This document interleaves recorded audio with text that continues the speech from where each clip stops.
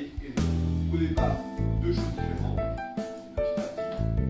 Par la richesse des uns et par le comportement des autres, on a Donc l'arc, hein, c'est un instrument à corps, les cordes verticales.